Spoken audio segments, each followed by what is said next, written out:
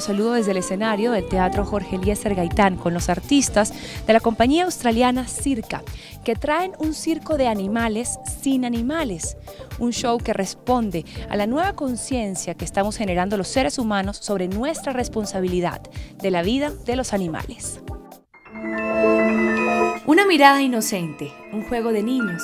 El nuevo circo llega desde Australia para mostrar las posibilidades del cuerpo humano en una interacción con lenguajes y hábitats del reino animal. So instead of bringing real animals in, we uh, this show is a lot about transformation, and um, it's a show for children, and, and the acrobats they transform from human beings into animals. Un espectáculo que dialoga con la conciencia, pues al rendir tributo, ellos a los animales mediante su espectáculo, se alinean con la necesidad de ser más justos con ellos. Un ejemplo notable en China es el zoológico Ledu en Chongqing, donde los animales están libres y los enjaulados son los humanos. En Colombia, la ley número 1638 del 27 de junio de 2013 prohibió el uso de animales silvestres, ya sean nativos o exóticos, de cualquier especie en espectáculos de circos fijos e itinerantes, sin importar su denominación, en todo el territorio nacional.